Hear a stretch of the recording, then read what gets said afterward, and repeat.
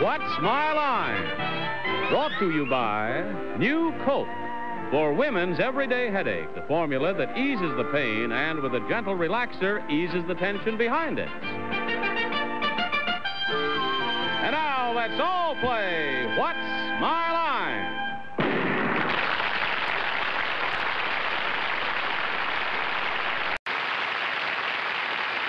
And now, live from New York, let's meet our What's My Line panel. First, the delightful star of the Broadway smash hit Dinner at Eight, Miss Arlene Francis.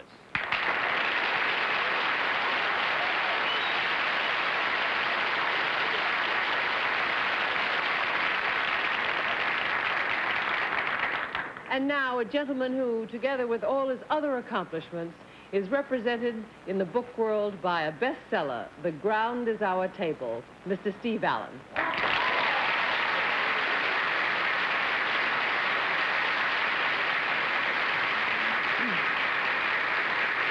Thank you, Arlene. I hope that becomes a reliable prediction. I had the very great pleasure, not too many years ago, of introducing on my television show a very lovely lady, Ingrid Bergman. And tonight it's my equal pleasure to introduce her equally lovely daughter, who has her own television program in San Francisco, Miss Pia Lindstrom.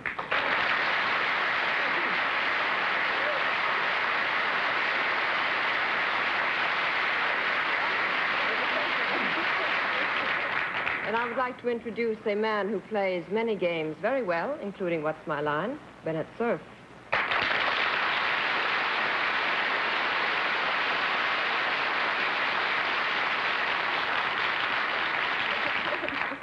Good thing to trip over. Careful. Miss Lindstrom, you're as beautiful as your mother.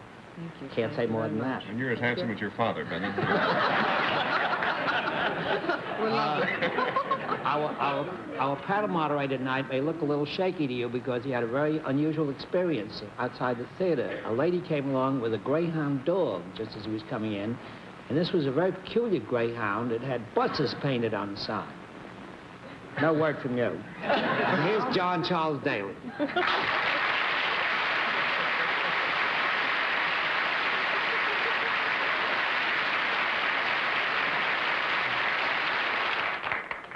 Well, I think that deserves some punishment right off the bat. And so I'll punish you. Get your masks out, my good friends, and please put them on. There is good and sufficient reason. Miss Lindstrom, it's nice to have you here. Thank you. In the East, I must say KGO out on the coast is lucky to have you.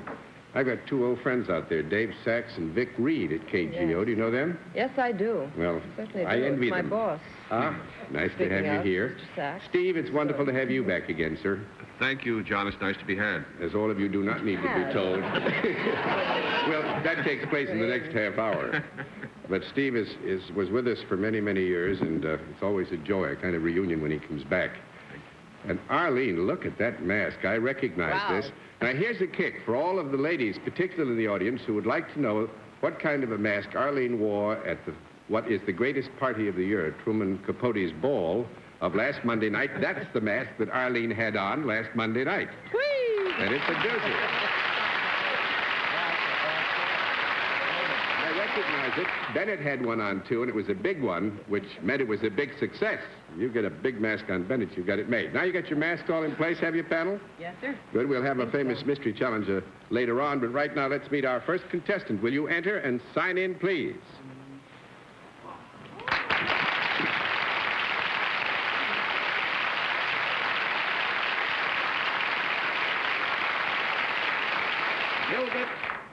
Is that right? That's up. Uh, and would you tell us where you're from, sir? England. Oh, nice to have you with us, Mr. Futter. May I present the panel? They're all very shy and modest and hiding behind their masks. Now, if you'll come over here and join me, please, sir, we'll let the audience in the theater and the audience at home know exactly what your line is.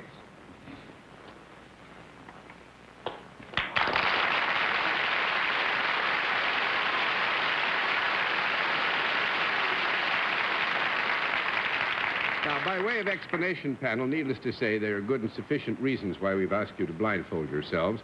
It is our feeling that somebody on the panel, or maybe more than one on the panel, might uh, have some area of recognition if you were not masked. Beyond that, we will treat things as we do normally. We'll tell you that Mr. Futter is salaried and deals in a service, and we'll begin things with uh, Arlene Francis. If I did not have this mask on, would I recognize something about what you are wearing? Yes. Uh, would it be considered a costume? Yes. Is it a costume related to this season? No. One down and nine to go. Steve Allen. Is it a costume that is associated with entertainment? No. Two down and eight to go. Miss Lindstrom. May I? This is a costume, a national costume. Is that right? What is your definition of a national costume? Well, a, a costume that would pertain to a certain country as opposed to another, like Mexico or. Well, we would agree that this is a costume with which you would in, uh, uh, uh, well, it is, really. this is a costume with which you would normally well, let me identify. rephrase it then. This, this costume that you're wearing, does it have something to do with your occupation? Yes. Could you perform your occupation less well without this costume? No. No, I don't think in the actual physical performance the costume itself makes that any difference. Mr. Cerf. I'd like to pursue something that Miss Lindstrom left hanging in the air. Is your costume one that would identify you with, the, with a particular country? Yes, sir. Uh, unless you're playing games with us, is it, is it Great Britain?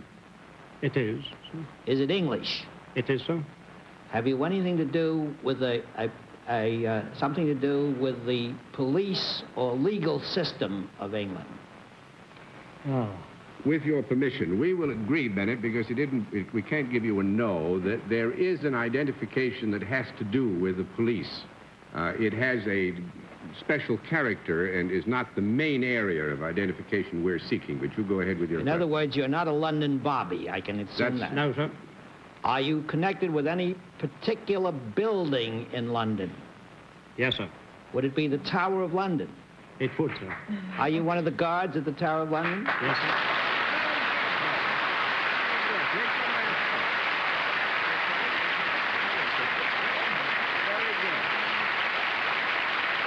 What is, what is the nickname, Bennett? What? The What is it? bloody, bloody something? No, no, Beef no, eater. no, The no. beef eater. Beef eater, please. Well, that's bloody. Beef is bloody. Beef, beef eater. Beef eater. is only a Bloody nickname. Mary. Yeah, that's only a nickname, beef eater. Actually, the formal name is, is uh, Yeoman. Yeoman of the Warder. Yeoman Warder.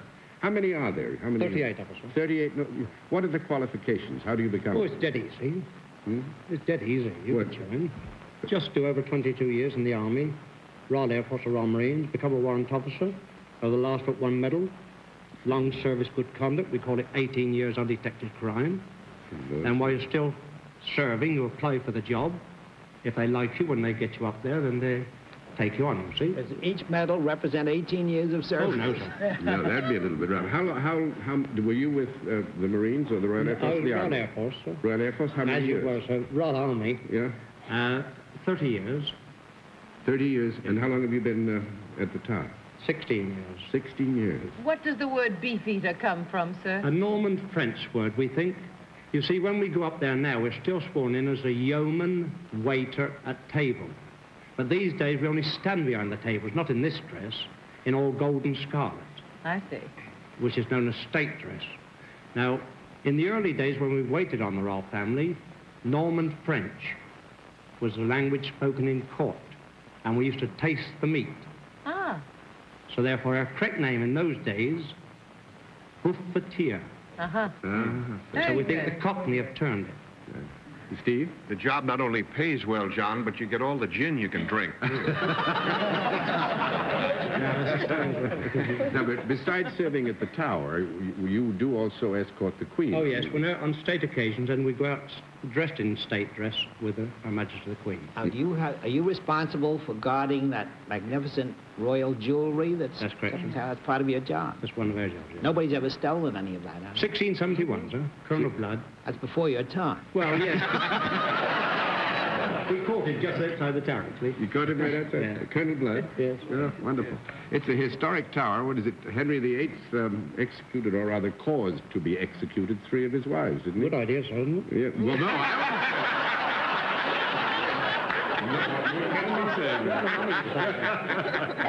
no, but Anne, Anne Boleyn and Lady Jane Grey. No, nothing to do with Lady Jane Grey. No, she wasn't. No, no, no. No? Only two wives. Two wives. Mm. Divorced, beheaded, died. Divorced, beheaded, survived. Ah, you did your history lessons very well.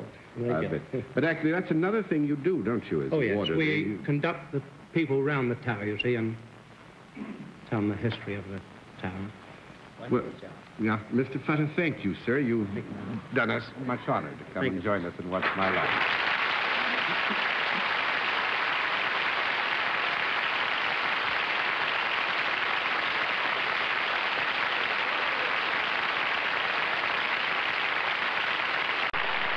We'll have another contestant for you in just a moment after this word. And now to meet another challenger. Will you enter and sign in, please?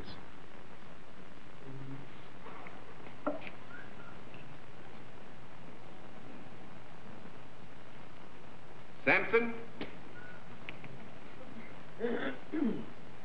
Baker, right, sir? All right. Mr. Baker, where are you from? Florida. Whereabouts in Florida, sir? Fort Myers. Fort Myers, Florida. All righty. Mr. Baker, may I present the panel? Now, would you join me over here, sir? We'll let the audience in the theater and at home know exactly what your line is.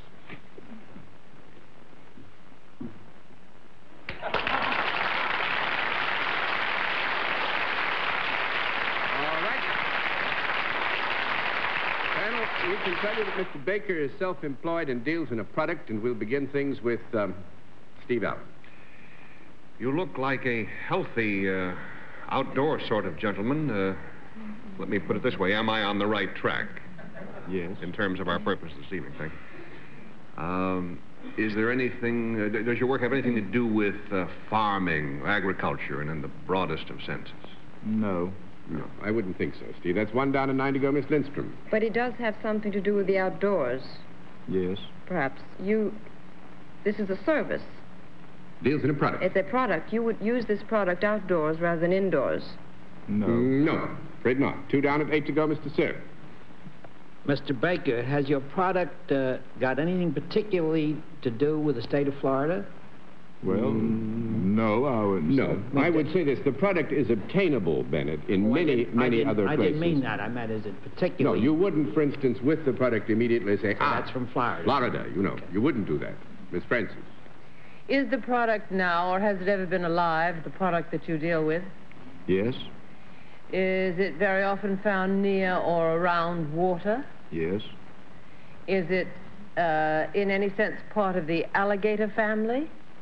Well, no. No, No? it's not. Four down and six to go, They have a Mr. Allen. large family, I hear. Oh, they are. Prolific. Uh, they have their own farm, as a matter of fact. is it a reptile? No. Five down and five to go, Miss Lindstrom. Could this way in any in any way be construed as a sport? Well, yes. What you do. Perhaps you do it for a living, but others might participate in it as a, a sporting. Well, let's say, put it this way, Pia, that the, the, the product which you have identified as being alive is identified with a sporting um, activity. We'll go that far, right? Yes. And it has to do with the sea. No, the No. question was, is it found often found near or on water? And it we is had said yes to that. Oh, it is, yes. When you use your product, are you in a boat? Yes. Do you kill this product or look at it? Now, it can be answered yes or no. Which one Oh. will you have? You look at it. That'll make it No. six down and four to go. Mr. Cerf. Mr. Baker, you've eliminated the reptile family. Is it in the fish family? No. No. No. Seven down and three to go, Miss Francis. Is it in the mammal family? Mammal. No. Eight down, two to go, Mr. Allen. Does this thing, this troublesome thing, live in the water? Yes, sometimes. Ah, does it live mostly on the ground, on the land? No. Nine down and one to go, Miss Lindstrom. But it propels itself through the water It Yes. can. easily, more easily than, than on land. Mm, no. No. No. Uh, would it it- be... Oh, this is my turn. finished? Yeah, we're all finished. You can just you can have Crab, some guesses. anything to do with the crab no. family? Is it a Lobster? crustacean? No, it's a semi-aquatic amphibia. A semi-aquatic amphibian. My dear, he's not even one of the club. Oh, let's not croak. Let's not croak. Turtle, isn't it? A croak. Croak Frog. Catches frogs. That's what we were looking for.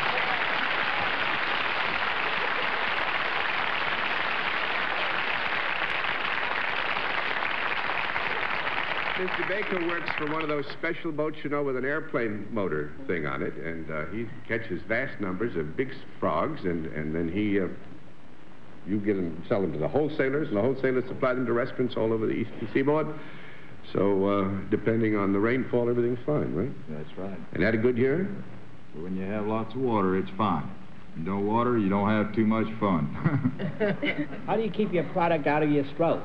How do you keep it out? Already on the... Bennett, please. Well, you, it's like a lot of things you enjoy. You know, you sing while you're gigging them and all like that. Thank you very much, Mr. Baker. It's nice to have had you with us for the rest of my life.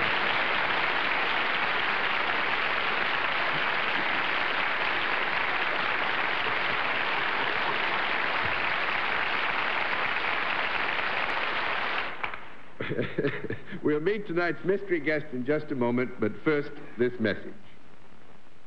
And now we come to the special feature of our program with which all of you are familiar, and the panel knows they're blindfolded at this point in the program. Are the blindfolds all in place, panel? Yes, Good. Will you enter, Mystery Challenger, and sign in, please? All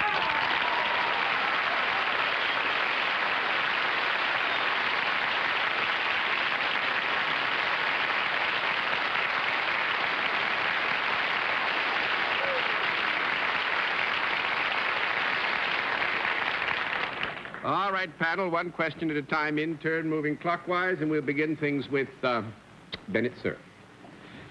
Well, this is a season when a great many plays come to Broadway. Have you got any connection with a play that has opened this season or is about to open?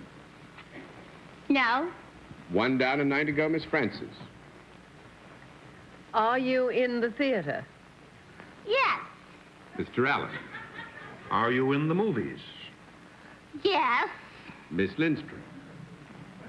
Are you best known for your roles as a comedian? No. Two down and eight to go, Mr. Cerf.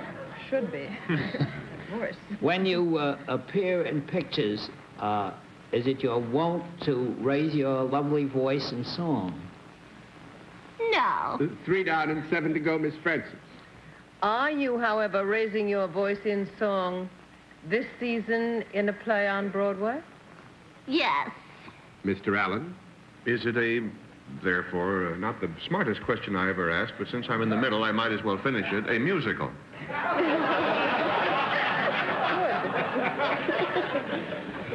Yes. Sherlock Holmes has nothing on me. Miss Lindstrom. Are you in a play that was a very famous uh, book and has been made into a film by a very famous Hollywood actress? Yeah. Say it. I it. know. Well, say it. Angela Lansbury. Right.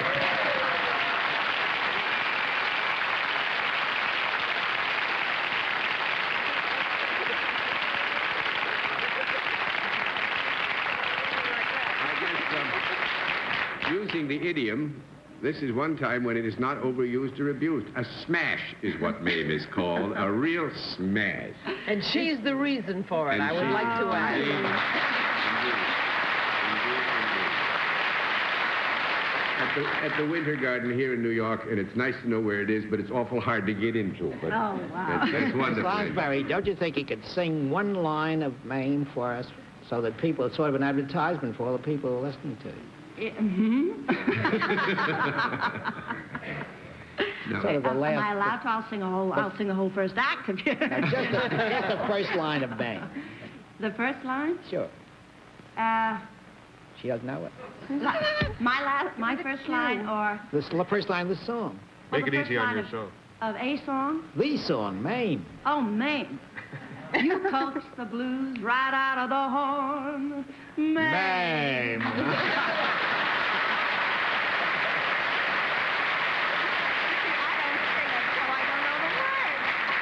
Now, did you notice something again? You know, every time Bennett does that, I'm trying to figure now what if he's after something. He wanted to get in on that name. I know. Now, this is a great triumph for you, but all of us also remember many other triumphs. You were nominated for three. Oh, listen, John, I must Three stop here a minute and tell you what a thrill it is to see Pia Lindstrom sitting here because we met when she was a little tiny girl when I did my first movie with our de- dear mother, Ingrid Gaslight. You probably don't remember, but I remember you when you were just a little sprig of a thing. And you here were, we are. You were nominated for a, for a, um, um, a, Uh, um, an Academy Award. Academy Award for, for Magic Gaslight words. I never got yeah. one, but I sure was nominated. Oh, this is a happy, lovely. happy coincidence, Pia, that you're here, Yes. here with us. Do you think that there's any real possibility that Bennett might make a career on the musical stage? There's no doubt in my mind. Absolutely none. Obviously, As a high somebody just has kicker. to ask him to sing. Ah.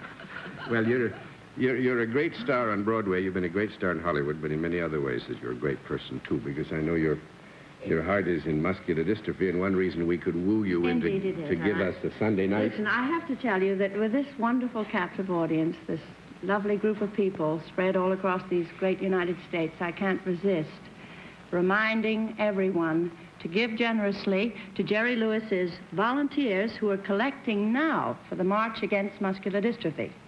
And if you are not approached by some loving soul to contribute in person, don't hesitate to just take those dollar bills and pop them in an envelope and mail them via your postmaster to the MDAA.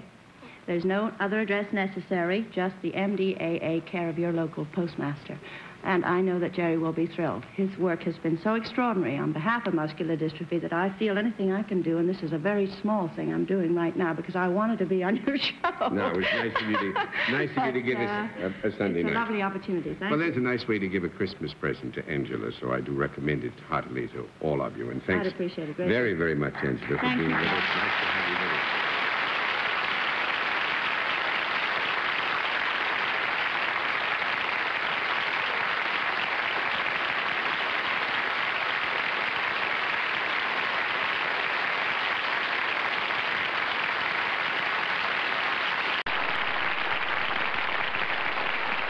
Bennett, I want you to know I was very impressed. Would you sound that again? You know, that May. Mame.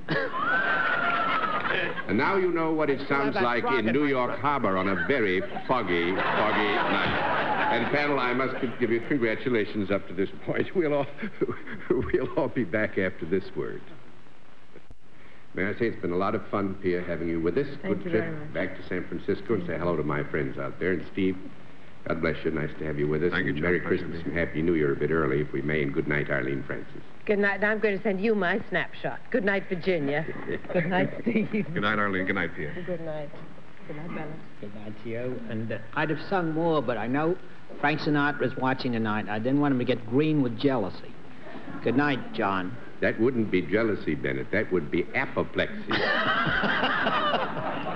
wow. Would you sound that for us? Do that once more. would oh, you I never, I never give a second performance. Now you, he's, he's got more sense than I thought he had. Now there you are. Just teasing you, Bennett. But it has been a lot of fun tonight, and uh, may we say thank you to all of you for being with us on What's My Line? What's My Line is a CBS television network production in association with Mark Goodson and Bill Todman. Francis Gown is from Bonwit Teller. This is Johnny Olson speaking for What's My Line?